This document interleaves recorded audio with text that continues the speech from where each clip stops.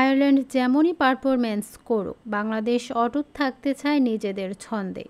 তৃতীয় ম্যাচের আগে আনুষ্ঠানিক অনুশীলন না থাকলেও ইনডোরে এসেছিলেন কোচিং স্টাফ এবং অধিনায়ক তামিম ইকবাল। গণমাধ্যমের মুখোমুখি হয়ে স্পিন কোচ রঙ্গনা হেরাত আবাস দিয়েছেন দ্বিতীয় ওয়ানডের একাদশে পরিবর্তনের। সোমবার বিশ মার্চ সিলেট আন্তর্জাতিক ক্রিকেট স্টেডিয়ামে ম্যাচটি শুরু হবে দুপুর দুইটায়।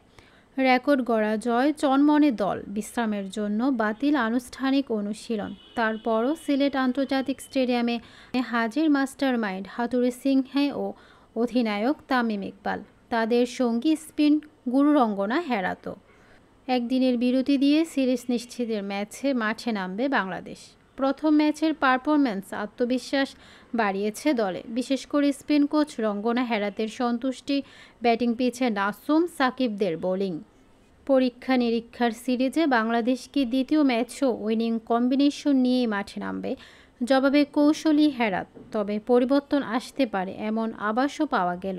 প্রথম ম্যাচের আগে চোট পাওয়া মিরাজের অবস্থার উন্নতি হয়েছে যদিও তাকে পর্যবেক্ষণে রাখার কথা বলেছেন কোচ। তিনি বলেন, একাদশে পরিবর্তন আসবে কি না এখনই বলতে পারব না, তবে সেরা কম্বিনেশন নিয়ে মাঠে নামবো আমরা।